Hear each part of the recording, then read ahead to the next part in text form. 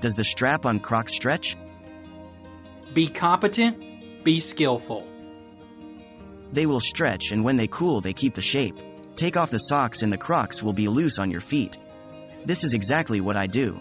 I'd recommend putting a couple of towels or something else in the dryer with them.